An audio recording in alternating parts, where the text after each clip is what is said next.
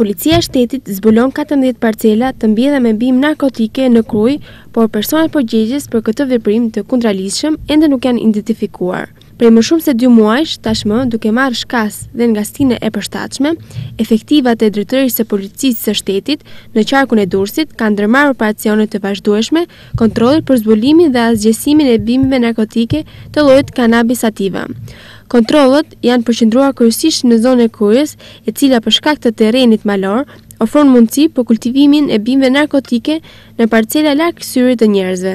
Gjatë dy ditëve të fundit, në një operacion të tillë kontrolli, të koduar Bubq 2015, uniformat blu ishin të fshatit Mallkuq. Kontrolli i ushtruar në tokat bujqësore të fshatit, si dhe në tokat kodrinore të fshehura pas shkurreve, efektivat e policisë së shtetit zbuluan 14 parcela të veçanta të mbjella me bimë narkotike. Në total, u gjetën pesëqind e shtatëdhjetë e dy rrënjë bimë narkotike, e cila u asgjësuan me anë të djegies. Por, duke qenë se vendet ku u zbulua bima narkotike nuk janë në pronësi të banorëve të fshatit, identifikimi i autorëve ka rezultuar i pamundur.